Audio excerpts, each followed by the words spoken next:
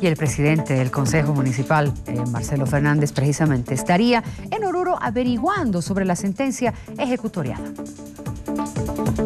que nos estamos colocando en los recaudos de ley. Entonces, en ese momento nosotros lo vamos a ver y el concejal tiene toda la posibilidad y tiene todo el derecho de colocarse a derecho. Es decir, nos vamos a personarnos ante el tribunal que ha emitido su orden de aprehensión.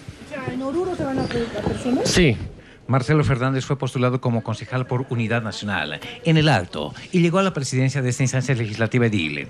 En el camino se volvió disidente de la alcaldesa Soledad Cheptón y ahora el diputado de su propio partido Wilson Santamaría lo acusó de tener una sentencia ejecutoriada por tráfico ilícito de sustancias controladas que lo condena a cinco años y cuatro meses de prisión. El abogado del concejal Fernández, Erlan Cabrera, sostuvo que el motivo por que su defendido no conocía esta sentencia sería que nunca se comprobó que se cometía el delito de narcotráfico y por eso habría viajado a Oruro, donde hace 20 años se dictó la sentencia, para averiguar su situación y apelar si fuera necesario. Hace 20 años ha habido un caso por comprar soda cáustica.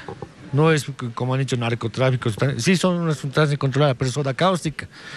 Él en ningún momento ha negado, él se ha personado en, el caso, él ha sido detenido ilegalmente en ese caso y lamentablemente él ha impugnado alguna sentencia que ha habido.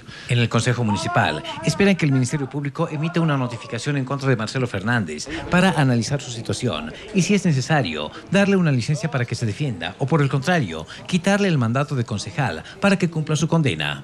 Primero vamos a esperar eh, la notificación formal. Si hay la notificación formal, bueno, pues vamos a asumir lo que en derecho corresponda.